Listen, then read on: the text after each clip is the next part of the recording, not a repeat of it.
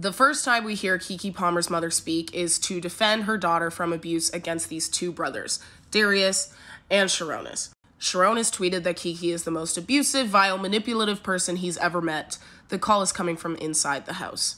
For Sharonis Jackson to post on his Twitter uh, stuff that he's posted when he knew his brother was abusive.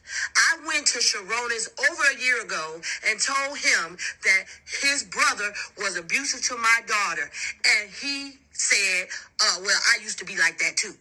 What? So now he's posting on Twitter like he's this uh, special guy.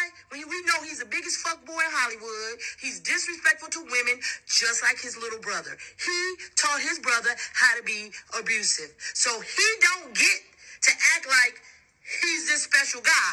No, you're a fuck boy and you're a part of the problem. For the brother to have been told that Keke was getting abused, and he said, Well, I used to do that too. That, first of all, shows you something went on in their family. I, I mean, I wouldn't be surprised if something had happened with their dad, but it's clearly very programmed in them to think that that's okay.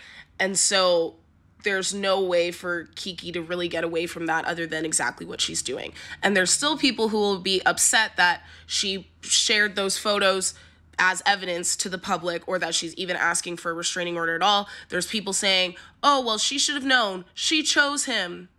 So it's her own fault. Meanwhile, like even her mother is getting involved and the brother said, "Yeah, well, I used to do it too."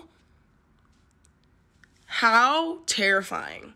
How terrifying also as a mother and also as Keke, but like for her mother to have to break her silence, she's never spoken on the internet before, to say, hey, your tweet is crazy because you are abusive, Sharonis. I I can't.